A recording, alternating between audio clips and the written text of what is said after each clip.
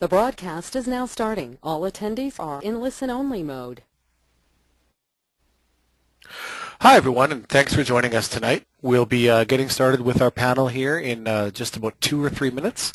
Um, so just bear with us, and we'll be getting going before too much longer.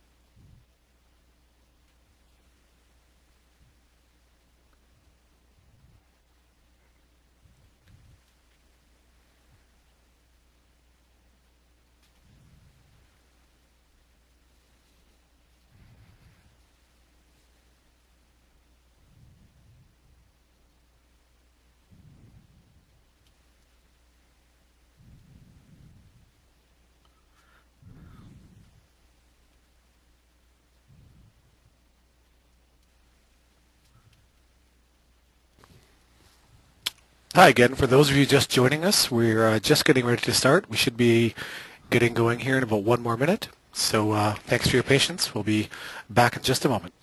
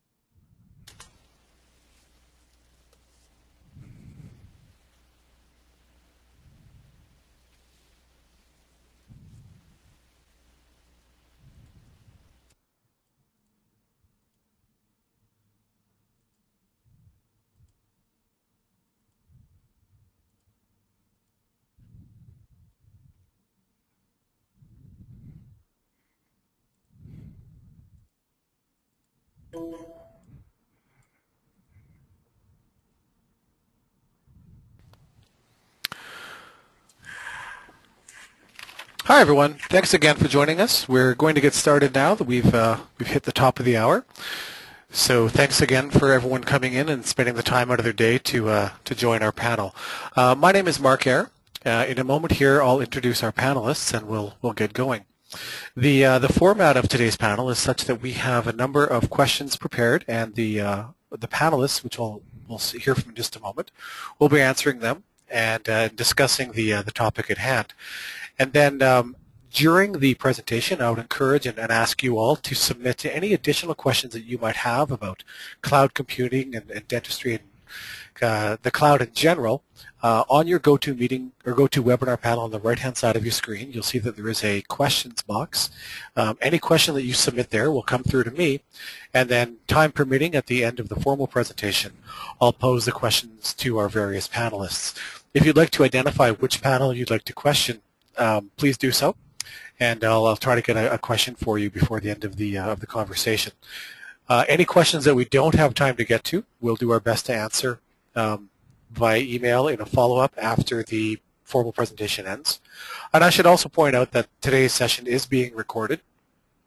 So we'll be sending out a copy of that recording to all the attendees and everyone else who registered for the meeting along with the answers to those questions. So the topic for tonight's conversation, what every dentist should know about the cloud. Um, I think that with all the publicity and the conversations going on around cloud computing today, um, it's getting to be uh, more and more of a of a pressing issue for just about every industry, not just dentistry. But the focus for today is is how it's going to affect dentistry today and and, and well into the future.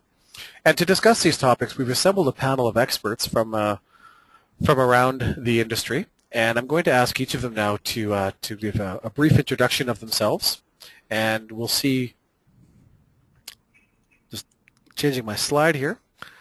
And there we are. So um, as you can see, my name is Mark. I'm on the left there. But I'd now like to ask our panelists, um, starting from left to right with uh, with Rohit Joshi, to introduce yourselves briefly, and then we'll get right into the uh, the presentation. Rohit? Uh, thanks, Mark. My name is Rohit Joshi. I'm the CEO of Brightsquid Dental. Hi, I'm Andy Jensen. I'm CMO of Curve Dental Incorporated. Hi, I'm Darci Wingard, Business Development Manager with Demandforce. Hi, I'm Dan Edwards, the President of Pact-One Solutions. Thank you and welcome one and all. Thanks for joining us today and sharing your insights with us. So let's get into the agenda and have a look at what we'll be talking about today. We have um, broken up all of our questions into, into five sections, and we'll go through these five sections. As I said, we'll, I'll be posing questions to each of our panelists. During that, as I mentioned, please um, add any other questions that you have to the uh, the questions panel, and we'll do our best to address each one of them when we get to the end of the uh, the formal presentation. So our first section today is what is the cloud and, and why should it matter to your dental practice? So we're going to be um, looking into well, what the cloud really is and, and how we can be using it today in our practices. So our first question in this section is very simply, what is the cloud? And I'd like to pose that question to, uh, to Dan to start us off tonight. Thank you, Mark. Uh, th there are many different, the cloud means many different things to many different people. Uh, one thing I noticed was Wikipedia defines cloud computing as the use of multiple server-based resources via the internet um, for, for you know, computing your data. Uh, but what the heck does that mean to everybody? Uh, the easiest way I can find to describe that is uh, comparing it to the evolution of public utilities. Back in the industrial age, factories had to produce their own power to run their machines. This put the factory in two businesses, producing their own goods and producing power. Uh, with that, uh, the concept of uh, creating electrical current being generated in central power plants uh, delivered to factories uh, caught on quickly. This meant they no longer had to produce their own power. What made this possible was many uh, was a possible of, uh, what made this possible was a series of inventions and scientific breakthroughs, uh, but what drove demand was pure economics. Utility companies were able to leverage economies of scale that single manufacturing plants simply couldn't match. In fact, the price of power dropped so significantly that it became affordable not only for factories, but every single household in America today, we're in a similar transformation following a similar course. The only difference is instead of cheap and plentiful electricity, advancements in technology and internet connectivity are driving down the cost of computing power in the cloud. All right. Uh, thank you for that, Dan. Um, Andy, did you want to uh, add to Dan's answer? Yeah, you know, I've heard that that compares comparing the cloud to a utility before. I think it's a great example um, as Dan said, you know, most of us share electricity from a common source like a municipality or, you know, a power company. And we do this because as a group we can achieve economies of scale.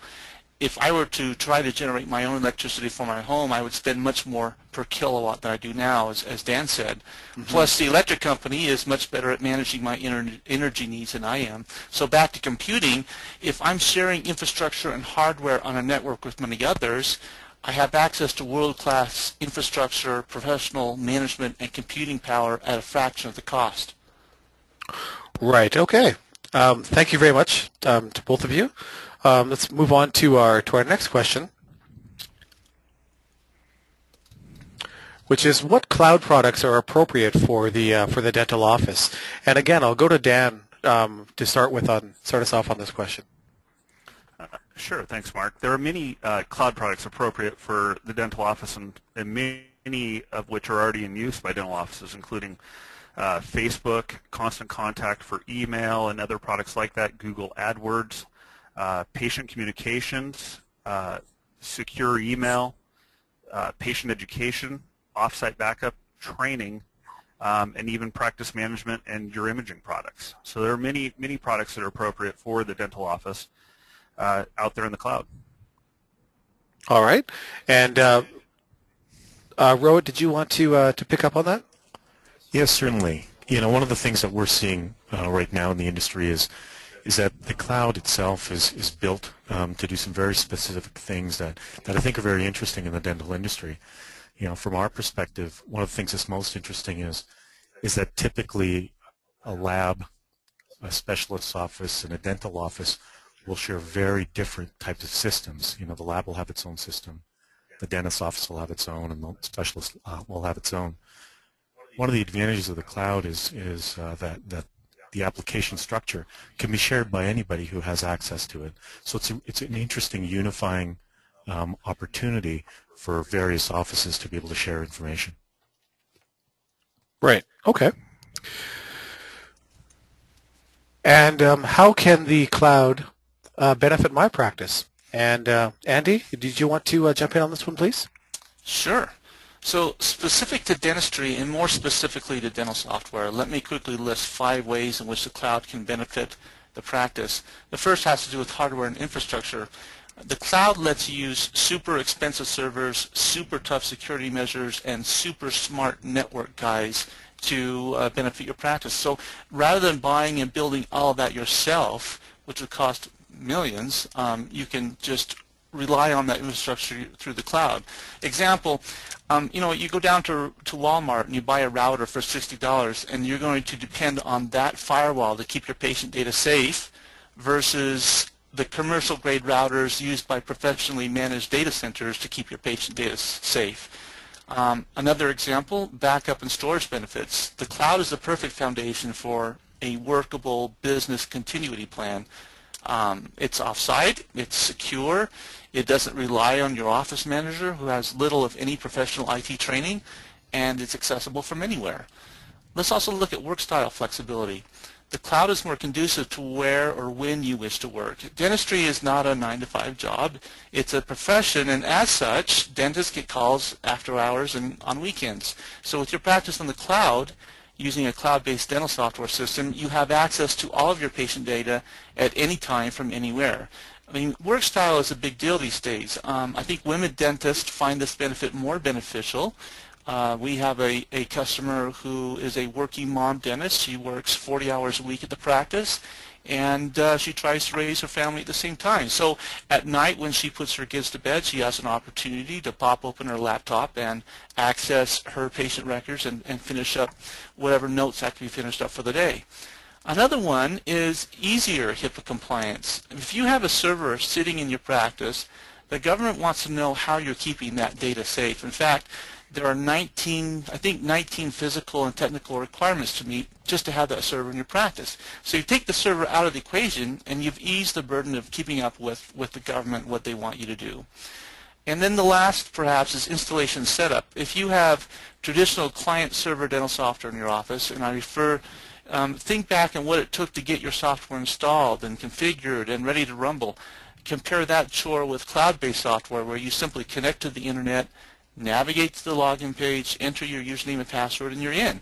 I didn't install any software, and I, um, it can't get any easier than that. That's a good point. There's some really good points, Andy. Um, uh, Dan, did you want to add to that?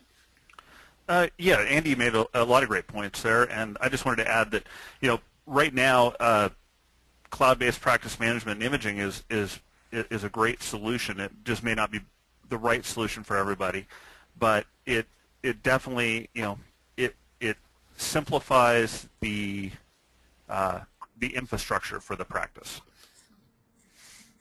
Of course. Okay. Uh, thanks for, to both of you for those for those answers. Let's move on now to the uh, to the next slide. Trying to keep things on schedule here today. And our next question is, um, what if I lose my internet connection, which I suppose is a is a risk that we always ha all have. Um, Andy, do you have any thoughts on that? Um, yeah, I mean, you know, internet connectivity quality and dependability vary from area to area. Generally speaking, if the internet does go down in an area, trucks are rolling to fix it. Why? Because the internet is a utility. It's not just that you lost connectivity, it's that everyone in your neighborhood lost connectivity and the company is racing to fix that. Conversely, if you have a server go down in your office, who cares? Probably just you. The only person that cares is you and you're going to call your IT pro and if he's busy, he'll get to it as quickly as he can. If he's not busy, he's still, what, an hour or, or so away from, from helping you out.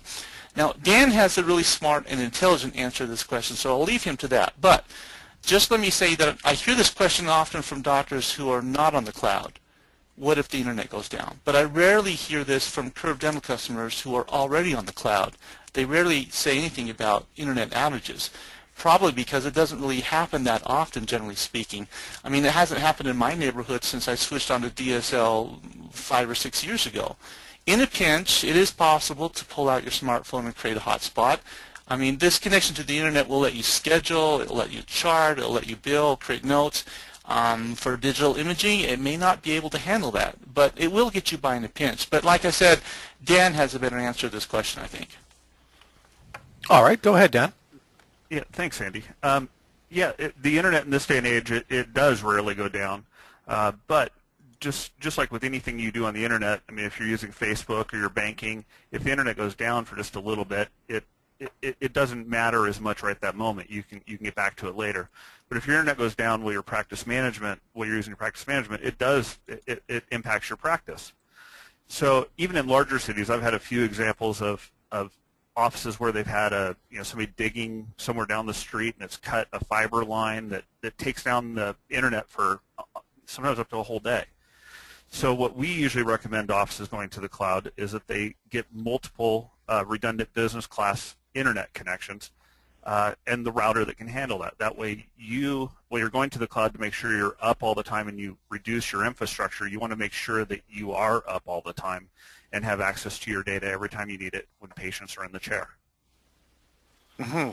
So re- really good points in there, especially about uh, you know if the internet goes down, a lot of people are working on it and trying to fix it, which is a lot different from what happens inside someone's office. So uh, thank you very much for those uh, for those questions and answers there to it. So next, our next question is, um, are other practices doing this? I mean, how common is this going to the cloud trend right now, and, and what's happening out there? So, uh, Andy? Um, well, Mark, on the, on the medical side, physicians have moved their practice to the cloud in droves. Um, a lot of physicians are, are managing their practices on the cloud now. Adoption on the dental side is slower, and there might be some reasons here. Maybe um, well, for most medical practices, they employ IT talent, and so these guys can uh, can ob objectively guide the practice to better technology. Dentists are entrepreneurs. They're small business owners. They may not know that, but they wear many hats, and they receive very little IT training in dental school. I mean, to my knowledge, none of the dental schools are providing their students with IT training laugh, laugh. To my knowledge, all the schools are still using client-server software. So even the, the schools need to um, take a take a leap there. So, and let's face it, technology in the dental space is pretty much dominated by a small number of players who at the moment don't have a financial reason to promote the cloud to their customers. I think that's going to change here quickly. Despite that, dental practices are moving away from client-server software to the cloud for all the same reason we, reasons we discussed earlier. As an example, more than a thousand dental professionals are using Curve Dental every day to manage their practices, all on the cloud. And I think I think Darci can add to the number of doctors who are using her cloud-based service.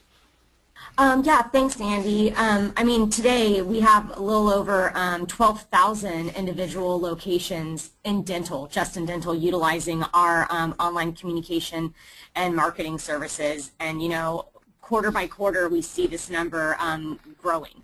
So in dental specifically, and just like you said, Andy, you know, I think that, you know, dental specifically can have some late adopters, but one thing through my marketing background and expertise is, you know, dentists need to be doing things that are different. Things and times have changed. And so to stay top of mind with your patients, you need to make sure that you are staying on top of technology and, you know, you need to be connected where your patients are and their patients are online. Great. Thanks very much, everyone. Um, it's good to hear from everyone and get all kinds of different opinions. We'll move on now to our next section, and, and while I'm doing that, I should uh, point out we've had quite a few questions coming in. It's been quite a flurry of activity here, so we're going to get to all those at the end, but uh, I'd still encourage everyone to submit additional questions, and we'll do our best to answer them as best we can. Now, our next section is something very important and near and dear to all of our hearts, which is, of course, patient privacy in the cloud. Uh, Doctor-patient confidentiality is, of course, not a new, uh, new concept by any stretch of the imagination, but we need to think differently about it when it comes to cloud-based computing and just digital data in general. So our first question Uh, I'm going to uh, read it and then we'll address it to uh, to Rohit Joshi. Are there any HIPAA or PIPEDA concerns with cloud-based technology? Now, Rohit, as our as our resident lawyer on the panel, I'll turn this question over to you. Uh, thanks, thanks, Mark. Um, uh, certainly, uh, there are HIPAA and PIPEDA concerns. Uh, HIPAA being the American uh, legislation, PIPEDA being the Canadian legislation. With cloud-based technology, you know, I've been speaking about HIPAA and PIPEDA laws for the past few years, and it's probably worthwhile just taking a quick step back. Um, something that tends to get lost is the underlying reason uh, for these regulations is really focused around uh, doctor-patient confidentiality. You know, there's real-world examples where where HIPAA laws are met because because people uh, restrict the labels that are on their um, patient files, or they change the viewability of their monitor so that every uh, patient that walks in can't see the schedule, so that uh, every patient isn't revealed. Well, the same is true of the electronic world, and that's where things, I think, get a little more interesting from a cloud perspective. There's a number of different principles that have to get met for the electronic world while trying to keep patient data private. So um, there's regulations that, uh, that involve um, who has access to that information. Um, how did that transmission of that data occur on the cloud? Um, how does the storage occur? What happens when the data is stored in the computers on the cloud? How is that data archived and what are the regulations that are required in order to meet that? So there's, you know, there's a number of electronic world type of requirements that match very closely with the real world. Um, so in, as a quick answer, there are certainly concerns. Um, and, uh, and having said that, there are a number of vendors, very good vendors, that are in the industry that are looking after uh, uh, the concerns that might be uh, having at the practice. The truth is that HIPAA and PIPEDA should be a concern at the practice in any case. Um, and the cloud actually can simplify a lot of the concern at the practice. Uh, thanks very much, Rod. There's a lot of good information in there. I don't know if anyone else wants to jump in. I'll just give you a second. No, no takers on this one. So then we'll just move on to the next question, which is, um, are cloud-based are cloud-based backup solutions secure, and how do you choose the correct solution for your practice? And uh, Dan, I'll let you start on this one, please. Uh, sure. Thanks, Mark. Uh, the uh, there are many different uh, cloud-based solutions out there, and they're, they're, definitely a majority of them are secure. It's really uh, making sure that the the cloud-based backup solution that you choose is is secure, meets HIPAA compliancy, and uh, that the company knows uh, dental and medical and and all the requirements that are needed.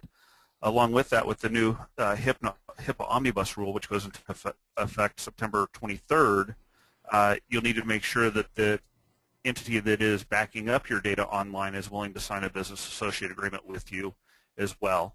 Um, is just like any other business associate you work with. Uh, some of the things to look for are making sure that it's it's encrypted and uh, there's redundant data centers, uh, preferably stored in different parts of the country, um, and it's easy to restore and easy to get your data back should you have issues. All right, thank you very much. Um, Rohit? Uh, thanks. Yeah, I couldn't agree more. I think Dan's uh, answer was excellent. In fact, you know, we've been asked this question so much about how do you choose that correct solution that uh, we've created a checklist, and if you, if you just put you know, checklists down in the question box, we'll we'll get uh, a list of those afterwards. We're we're happy to send that to you after the webinar.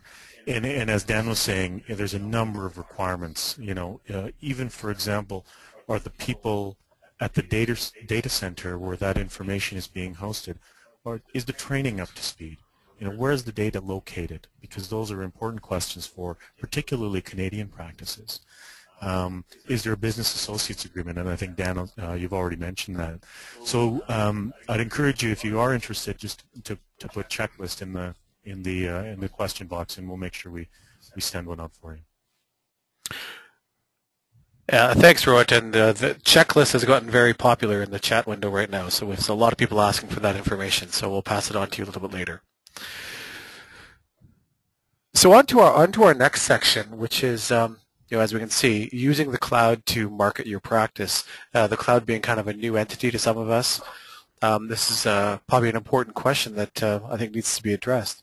So let's go to the to the first question, which is um, why is collecting patients' online information so important? And for this, I'll, I'll ask Darci to start us off, please. Thanks again, Mark. Um, yeah, just to kind of piggyback on what I said earlier about moving online and working on the cloud. Um, your patients are online. That is what everybody's kind of trending to. And like I said again, you know, things just aren't working the way they used to.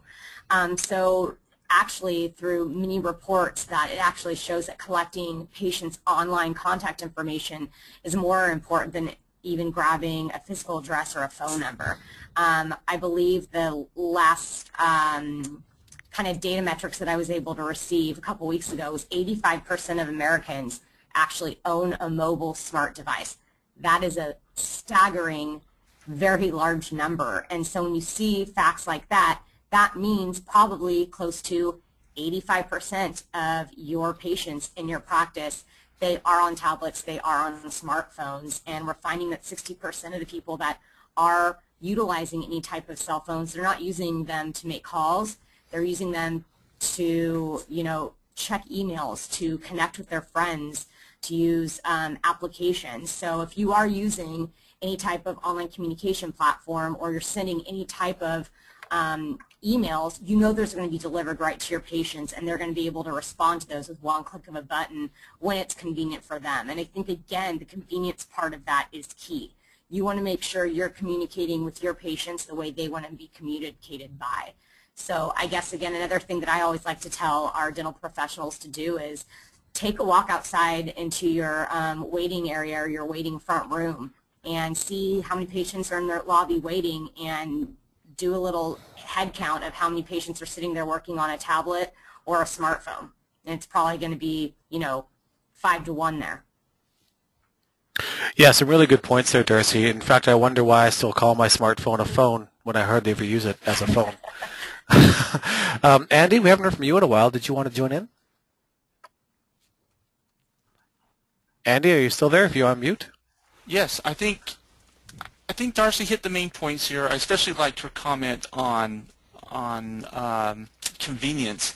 Um, from the patient's perspective, you know, I find the opportunity to communicate with my doctor via email very liberating.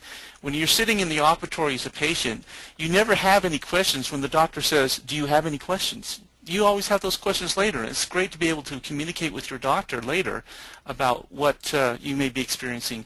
And then being able to pay your bills online, that, that saves a lot of time. From the doctor's perspective, marketing capabilities are so much more powerful um, online without an equal increase in marketing expenditures. And those acti activities are instantaneous. Um, every practice must really make the gathering of email addresses and cell phone numbers a part of their daily routine. All right, thank you very much. So, our next question, uh, is it important for practices to have a Facebook fan page? And again, I'll turn to, uh, to Darci to start us off on this one. Yeah, um, so again, what we talk about is some of the patient behavior and consumer behavior changing, and um, Facebook is one of the fastest growing um, communication sites, and it's even trumped Google. There are more users on Facebook and actively working with Facebook and the applications there, connecting through messages, posting on walls, um, you know, what have you. And it's very important that practices take advantage of these social media tools, any type of social sites. Another thing when you talk about, you know, expenses and overheads is Facebook's free. All social media is free. So I think any vehicle any asset that you can take advantage of, especially in social media, you need to do it. Your patients are on Facebook. They're connected there. And I know for referrals, when you look at new patient acquisition, this is a great way to communicate with patients because they're able to like any type of images that you're um, posting on your fan page and all their friends in turn will see the activity that they've liked or that they've posted on you and then reporting analytics. You know, you're able to track all these kind of things. And there are a lot of different automated tools out there today that can kind of track the success of the Facebook posts that you're managing. So you can see, are people really liking my page? Are they sharing the content that's there? And again, if you kind of add in a little personal element into your um, the content that you're posting onto your social sites that helps you know you communicate and kind of bond on a more personal level with your patients um, especially if you're using widgets like requesting appointments um, you know even reviews if you have patient testimonials it's a great way for you to stream that raving fan base and help attract new patients by leveraging those patients that love you um, we talk about convenience with requesting appointments once again, with one click of a button, they're able to connect with you 24 hours and say, hey, I need to come in, I want to see you, and all that can be tracked. So again, I mean, when any type of technology is moving forward and those social sites are available for you, you have to take advantage of where your patients are. Yeah, I couldn't agree more. Making that, that personal connection has always been so important, and uh, with these new tools, it's uh, it's easier than ever before in, in many many ways. So our next question, um, I guess, ties into what we were just saying is, you know, how has patient behavior changed in the way that they might refer a friend? Uh, and again, uh, Darci? Yeah, so kind of again, just to piggyback on just what I was saying, that patient behavior definitely has changed. Um, obviously, no matter where technology goes and how it does change and how, is it, how it expands, I still truly believe that, um, you know, the best way to grab a new patient is obviously by the referral. But that referral process has changed. Um, when you have social sites and um, big search engines and giants such as Google or Bing or Yelp, um, you know, your reputation is key when it comes to attracting that new patient base. Um, even if my friend tells me to check out this new restaurant or go to this new salon or use the dentist that she's been going to for five years, um, the first thing I'm still going to do, even though I trust my friend, is I'm going to search for that professional or that practice online. And when I type in that doctor's name or phone number, if the first thing I don't see is a website or a social site or any type of reviews that kind of comes full circle and shows that he's a legitimate source and I can see feedback and see contact information, you know, that's what I'm going to look for. And if that's not there, you know, I might be going and looking for something else. So patient behavior is changing. It's going to always be evolving. And again, this is why it's so important to make sure you have some sort of platform to grab those um, online reviews and reputation management programs.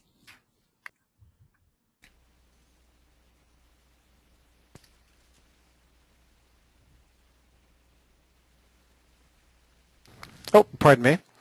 Um, I think my audio dropped out for a second. So thanks very much, Darci. We'll move on now to, to the next section where we'll be talking about uh, managing your practice in the cloud. Um, so, you know, tying into the uh, to marketing, but now getting into management. Let's take a look at our first couple of questions there.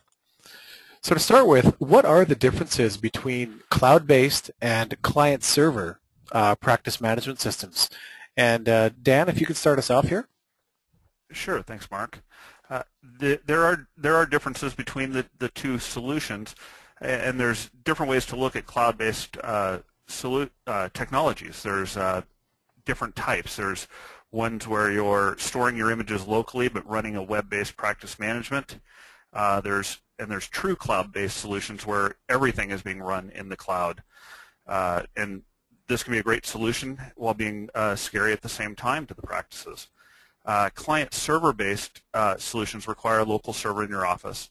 Um, it is my personal belief that the local server solution still offers the fastest speed for both access to your patient data and x-ray images while you're in your practice. Uh, and this will continue to change and advance as cloud technologies uh, advance further and internet speeds continue to increase.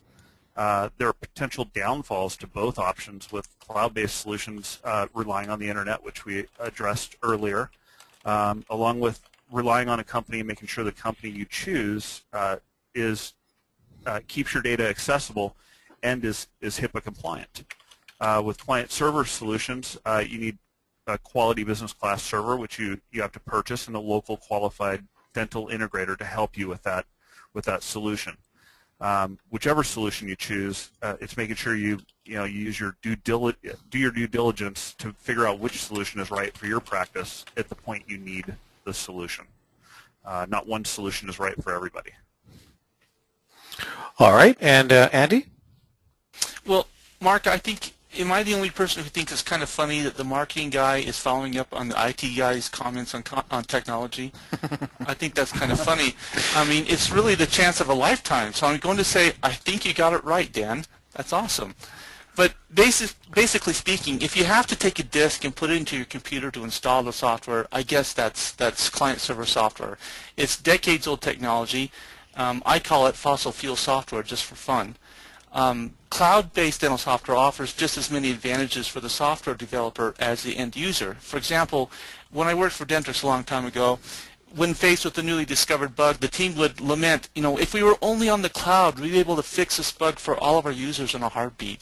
I mean, the cloud is today's current platform, and what I mean by this is, is, is Dan, if you were to get a crazy idea to create a new software company, you would develop the software for the cloud, right? Uh, yes, I would. So why? Because the cloud is the de facto standard when it comes to software development. The cloud is not the future. It is today's platform standard. And if you're not on the cloud, you're using old technology. Oh, sorry, I was waiting for a rebuttal there. I thought there'd be more back and forth with Dan. but let's uh, let's move on to the next question. Thank you very much uh, for that, Andy. So how can you manage your practice in the cloud? Um, what about things like charting, billing, scheduling, and, uh, and, and imaging?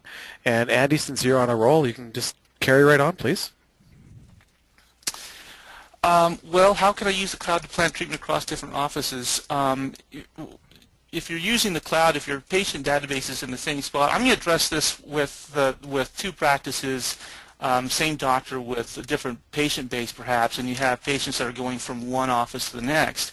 Uh, with Curve Dental, you'd be able to access that patient's record regardless of what physical location you're in. So if they're visiting uh, uh, practice A, for example, one week and they're in practice B the next month, um, that data is still available to them. Okay, and uh, Rohit? Uh, sure, Mark. I think, you know, what, what we've seen um, to be particularly interesting um, around managing the practice is that so much of um, the practice involves other participants. So, uh, for example, you know, for a dentist, uh, working with a specialist about a treatment or for the for, for, the lab to be able to work with their dentist or or, or others. Um, and what we're seeing now actually is um, the the lab wanting to work with the milling center and and the dentist wanting to work with uh, someone that just has a radiology practice and does all of the imaging for them. And so what, what we're really recognizing is, is the cloud is a great platform to enable that kind of management so that we can see multiple different players um, using the same piece of software to collaborate on a single patient. Uh, and that's what we're finding very exciting. And, and, and of course, the cloud lends itself to exactly that type of work. Right. Thank you very much. So I think that brings us to the end of this section. Um, so while I'm getting into the next uh, the next section, I'll remind everyone that while we have had a lot of questions come in, we have uh, room for a few more. So feel free to uh, to throw your questions towards the panelists, and uh, we'll address as many as we can before we get back to the top of the hour. So moving on to our to our, our next section, which is uh, collaboration in the cloud. I think here we'll be talking a little bit about how uh, how everyone's working together and sharing information um, through these cloud-based systems. So our first question in this section is, what is the benefit of using a cloud-based service over a standard email to share patient data? And for that, I'll ask Rohit to start us, please. Uh, thanks, Mark. Yeah, as you can you can kind of tell, my passion really is in trying to understand how to how to use the cloud to enable this type of collaboration. Um, I know that with the many practices that I've been visiting and, and many labs that I've been visiting, that a lot of that information is shared uh, over email. Uh, typically, uh, Microsoft Outlook um, in the practice, uh, connecting to a Gmail or connecting to AOL in some cases, um, to actually be the email provider that sends that type of information back and forth. Um, the reality behind all of that, though, is that email in that form is absolutely not compliant with HIPAA laws or with PIPEDA laws. And so in that manner, um, email is illegal to be using to share patient data. Um, if you take that a step further, it's a little bit off topic, but one of the other things I see a lot in practices is the use of a Dropbox or a Google Drive. Again, neither of those are qualified uh, uh, to hold patient data. So if you're using them now in your practices, you are making a mistake.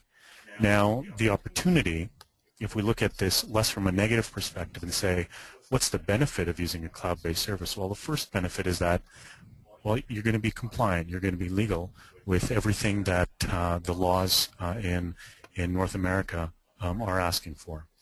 Um, so you will, it will automatically be backed up. It will um, have uh, um, uh, encryption, so that will be unaccessible for uh, uh, through various means. So there's there's that benefit, which is you're compliant. The other benefit with systems like ours, like our our system is called Secure Mail. We actually have the opportunity of uploading some very large files um, uh, through the system, and I think I've got a couple of um, questions here later on where I can go into a little more detail. But the opportunity to upload, for example, a 500 megabyte cone beam CT scan or a 3D STL file or even a series of high resolution images for the aesthetically conscious uh, dentist. Um, all of those are, are possible in a system um, that doesn't sort of limit you to a 10 megabyte or 20 megabyte like like Gmail would or, or LiveMail would. So I think there's, there's the benefits not only of being compliant, but certainly also um, the benefits of having a tool that's been uh, specifically designed to share uh, that type of patient data. Right. Thank you very much. And then uh, Dan, did you have something to add? Uh, no, I just wanted to. Well, I just wanted to add a little bit. Uh, the Dropbox is definitely it, it's something we see a lot in in offices where they try to share images with Dropbox, and we try to educate uh, offices on why that isn't compliant. Um, as well as I agree with um, everything that was said about uh, you know making sure that you're using some type of secure uh, sharing method that is that is HIPAA compliant to um, make sure that you meet all those requirements as you share images back and forth between uh, insurance companies and and other uh, practices you work with. Okay, thank you very much. Now, in our next question uh, is, can I use the cloud to plan treatment across different offices? And we've uh, we've talked about this a little bit earlier on, but I think that uh, Rohit, if you have some some thoughts on this. Um, I certainly do. Thanks, Mark. Um, you know, one of the things that uh, I actually have to say is pretty impressive with with the firms that have started to adopt our software. We're starting to see some very interesting um, uh, treatment planning. Uh, from from our perspective, what we're starting to see is uh, a uh, is is a, a, general practitioner who then might send the patient to an orthodontist. But as a part of that treatment plan, there needs to be some teeth extracted, so they end up sending them to an oral surgeon. And, and that type of treatment coordination is terrifically interesting um, on a common platform because there's, there's no sort of analog. It, it's not as though there is something that people are doing now other than multiple faxes, you know, couriers, um, sometimes phone calls in order to kind of duplicate that process. So it's it's been very exciting for us to watch the growth of sort of uh, that type of treatment planning. Um, in addition to what's happening there is now the, the GP who's, who, who really owns that patient kind of is able to keep track of where that patient is from a scheduling standpoint so that the, the, the, the dentist knows that if that patient has missed an appointment that was planned or missed getting his, the, the oral surgery appointment, they now understand that that's going to obviously have an impact as to how, as to when that patient is going to re return to them. So, uh, so it's been very interesting to see how that's uh, been developing uh, over our system over the past number of number of years. We're actually now at the point where, where if that patient misses that appointment, new dates can automatically be scheduled, and everyone on the on the team notified that here's the new dates for that type of uh, uh, for that patient to be um, uh, completing treatment. The other thing that kind of follows in with all that is that um, is that it's possible in this multi-practitioner treatment for each practitioner to upload the information that's relevant to them. So if, if I am the, the oral surgeon, I can up, update sort of that part of the treatment that I'm responsible for so that now the orthodontist knows and also the GP knows what's happened with that patient in that phase of treatment. So anyways, I, it, the reason I like, uh, I'm so excited about this is it, it doesn't really have a, a real world or an, uh, an analog other than lots of phone calls between lots of dedicated people who are trying to get things right for that patient. Yeah, it, it almost sounds like you're changing the definition of the word team um, with some of these these tools through. Yeah, it's interesting you mentioned that, Mark. You know, we, we, we've, when we have uh, started to talk about our product, we really call it around a, a, a treatment team. And by team, we mean everybody who's involved in delivering that treatment to that patient. Exactly. Now, um, now, Andy, you had your hand up earlier. Did you want to uh, chime in on this, or should I just move on to the next question? I just wanted to say that you know that that, that the collaboration um, issue becomes really exciting because of the cloud, and it makes it a lot easier. Um, if you look at Curve Dental example, I mean, you can schedule appointments, you can complete a clinical chart, you can chart a perio exam, cancer, digital x-rays, all these types of things. Um, the cloud provides an opportunity or platform to to move that information beyond the practice as Rohit's been explaining to us and it's really exciting. Absolutely. Thanks very much. So I think we're on to our, our last of the uh, of the prepared questions and we'll get into the uh, to the other ones. So if you have any any more questions, now is a good time to to submit them. And so the last question is, you know, how can I use the cloud to monitor treatment progress from specialists or labs? And again, I'll turn to Rohit for this one. Thanks, Mark. I think may, I may have jumped the gun a little bit and talked a bit about mm-hmm. how, our, how, how the product can be used, or how the cloud can be used, rather to uh, to, to plan across the specialists and the the GP. Um, what's interesting as well is is how um, I've seen the adoption of the cloud in, in terms of the communications between the labs and the GP. Now again, this is somewhere where I'm seeing uh, a great deal of email go back and forth. Um, we work with some very large labs that probably receive hundreds of emails which have patient images in them. Uh, and of course the subject line is the patient name. Um, you know, again, absolutely non-compliant, not legal. Now, when, when I'm starting to see uh, on, on compliance systems is the ability for the lab well, first of all, to receive the files um, uh, in a very cohesive way. And what I mean by that is um, the, if there are many uh, dentists who want to send high-resolution images to their lab, now, there's one of two options to do that We're using a typical email system. Uh, the first way is to reduce the size of that image um, so that they can put the five or ten images inside of one email and then that will get sent. Unfortunately, when the lab receives it, the images are typically so small that they lose the value they were intended to, uh, to communicate. Uh, the other thing that I actually have seen uh, recently was one particular lab that was receiving 10 emails in a row from one dentist about one patient. And that was because they wanted to send 10 high-resolution images from about what was what was going on for that patient. You can imagine the, the frustration uh, on, on everybody's side if that's if that's what's going on.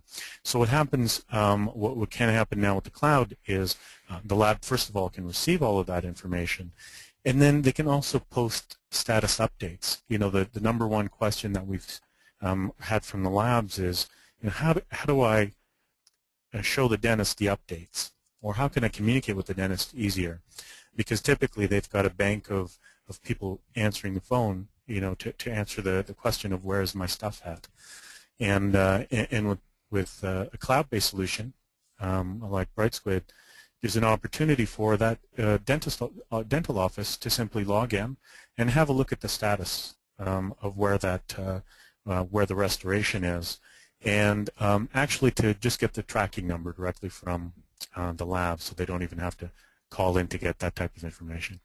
So it's uh, it's been very exciting again in uh, in, in the transition as as as the labs are are adopting uh, cloud technologies for that purpose of collaboration and communication. Um, uh, we're, we're, quite excited about it.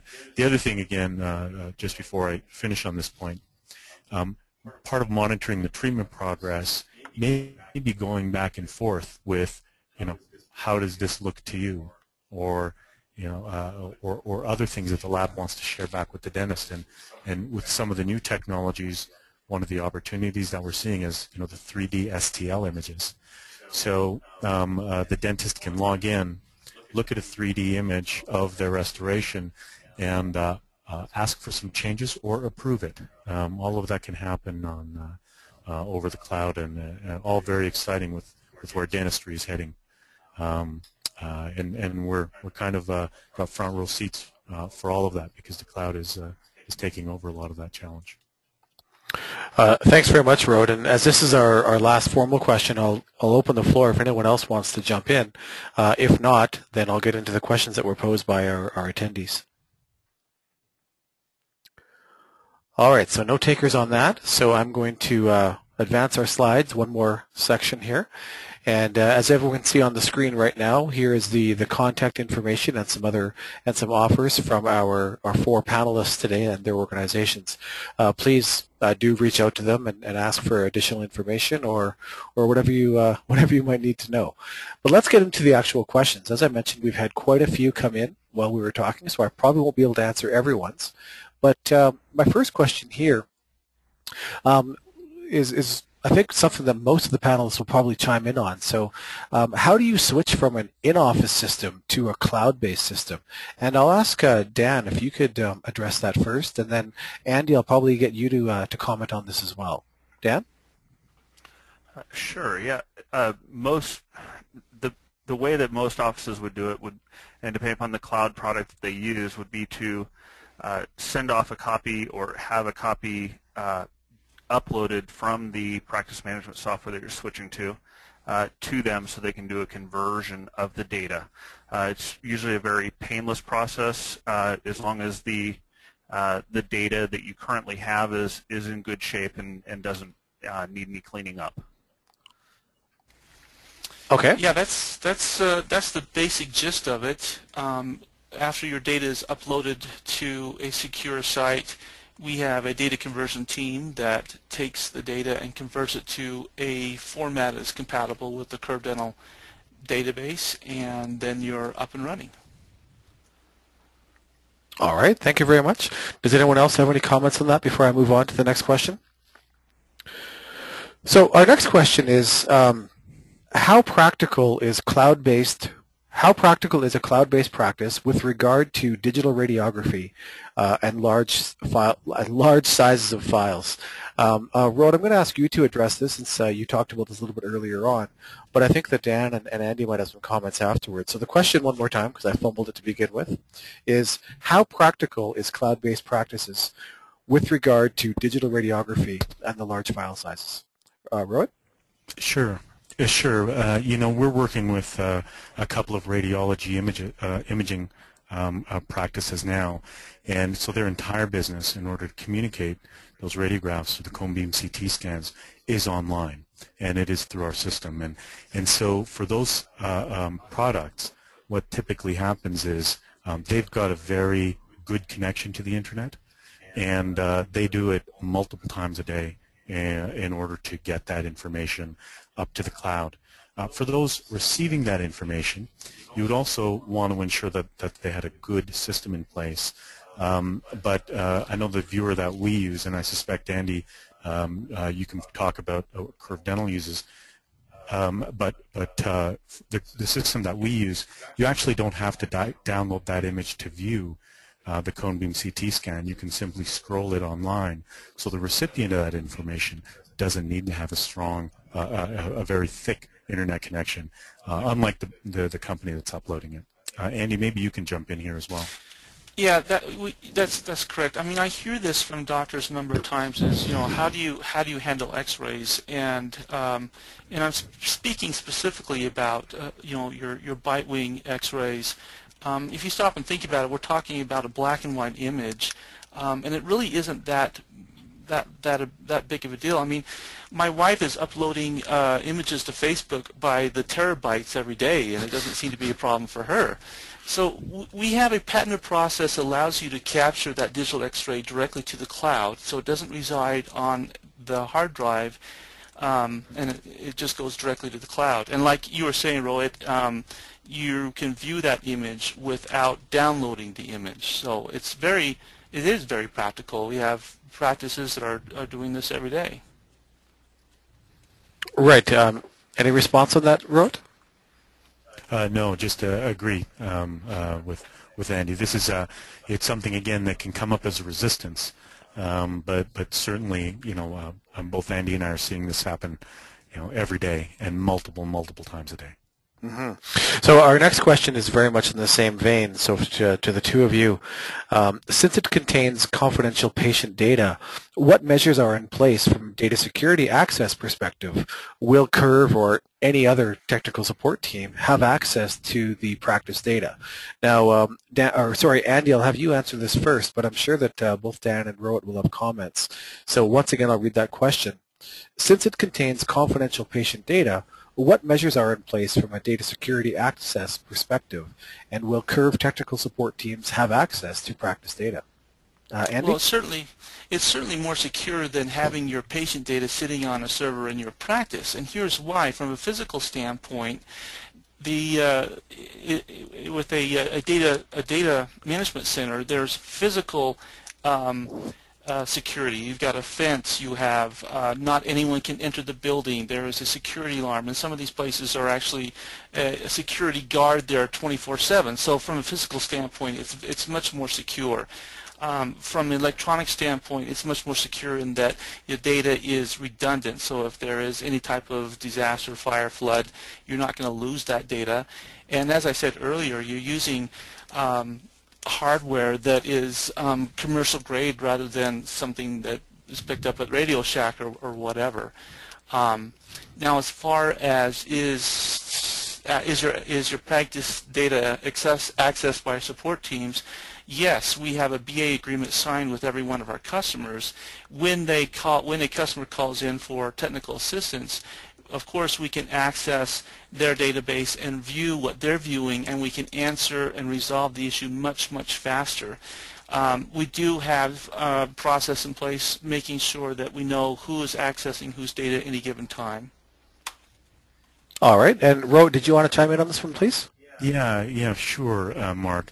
You know, there's there's a number of uh, safeguards that we've got in place, and, and I'll just pick up on the last thing that Andy said, which was one of the one of the elements of the HIPAA requirements is to ensure that there's a log of every access to every bit of data. And and so what we've done is uh, we've built that into everything that we do. So every activity is logged. Now, we, we've restricted it, it by a large measure anybody that has access to data. I, for example, um, would have no need to access that data. Therefore, I don't access that data and actually wouldn't know how to access practice data.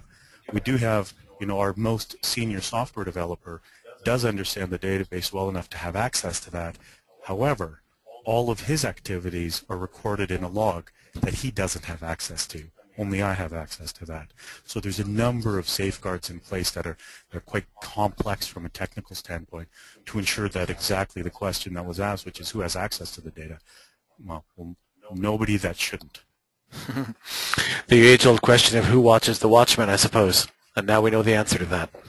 That's me. Yeah. so we just have uh, a few minutes left here. So I have one quick question for Dan, and then we'll be wrapping up. Uh, and this question is, um, how do I maintain cloud-based software? Dan?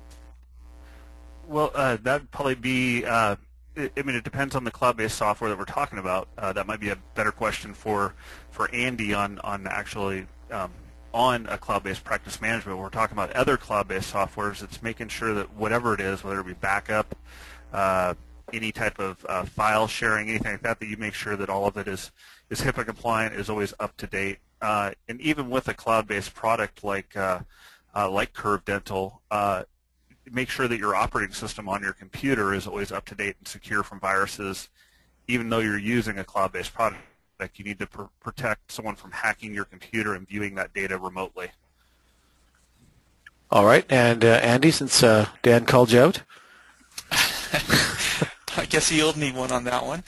Uh, I think that's um, obviously your hardware needs to be maintained just like any other type of hardware needs to be maintained. But as far as the software is concerned, there is you never have to worry about upgrades. That's always being done behind the scenes. Whenever you log into the software, you're always using the latest and greatest features and the most powerful features that, that can benefit your practice. I love that about the cloud because that you're always using what's new and exciting. All right, great. And since we're just bumping up against the top of the hour now, I just have one last question for all of our panelists. So I'd like to ask all four of you to, to give this a little bit of thought and get back to me with a with a short answer. And we'll go in the same order that we started with with uh, with Rohit, then uh, then Andy, uh, Darci, and Dan. And my question to you is, what do you think will be the biggest change in the way doctors and dentists are using cloud-based services over the next five years? Rohit? Uh, interesting question. I think, uh, well, just as we started off, you know, I think Dan gave a good example of how you know, there's a sense of, of this utility, and I think that's very much how how over the next five years, people are going to recognize that the internet is always on. It's the preferred method uh, on how to communicate and collaborate and operate, um, mm-hmm. because it, it reduces the complexity of the office management around software so considerably. Andy? Yeah, Rohit, Rohit really said that well. It's it's the preferred method of communicating, whether we're communicating with our patients or communicating with our staff even, or other doctors. The internet is the way to go. I, I'm, I'm really excited about the future. I don't think that we really know um, I mean, if we could jump ahead three years from now and look back and, and, say, wow, we were really antiquated three years ago, and look what we're doing now. Um, at Curve Dental, when we sit down in, in development meetings, uh, sometimes we get way out there and we have to dial it back and say, guys, those are fantastic ideas, um, but let's get back to what what we need to do in the next month or the next week. Um, it's very it's a very exciting time. All right, and uh, Darci, what do you see in your crystal ball? Um, yeah, kind of just to layer onto what Andy said. I mean, five years from now, you know, that's a lot can happen, a lot can change, and the way technology is growing, and like you said, just what we've seen over the last even year um, to two years, it's been amazing to see some of the large players when we talk about marketing aspects um, on how large online reputation has grown and how to manage that reputation. And then again, convenience. I think really technology is all about convenience. And you look at the way we use a lot of the different um, different programs that are available to us today and it's all about everyday convenience and staying top of mind and um, acting fast, getting what you want now. I mean, you have a cell phone with one click. You can get to iTunes, purchase a song. I mean, just something as easy as that. So again, especially when we talk about marketing um, components and programs, it's the convenience and making sure you're connected um, where your patients are. All right, thank you. And, and Dan, the last, uh, last word is to you. Yeah, uh, I, I agree with Andy too. It's it's hard to predict exactly what's going to happen in five years. Thinking back five years from right now, um, and trying to imagine where we're at at this moment, it's it, it's hard to get there. Uh, but it definitely planning for the future and being excited about it is it, it is what we always think about it. I mean, think about and computers keep getting smaller. Uh, handheld devices get smaller or bigger depending upon which which way you go with the device, but you can do so much more with with everything else uh, out there right now. So I mean, you can get a computer that's four inches by four inches that can view your 3D images. So um, which just a couple years ago, I would have never imagined that. So uh, it, it's an exciting time, that's for sure. All right, thank you very much. And with that, uh, we've come to the end of our time. Thanks to everyone who joined us tonight to uh, to listen to our, our experts, and uh, thanks very much to our panelists. From uh, Brightsquid, Curve Dental, DemandForce, and, and Pact-One. Uh, my name is Mark Eyre, and as I said, we uh, did record this webinar, and we'll be sending out a, a, copy of that recording in the next day or two, along with the answers to any of the questions we didn't get a chance to answer today. So again, thanks so much for your time. Have a good evening, and we'll talk to you next time. Good night. Thanks, everyone. Thanks. Thank you.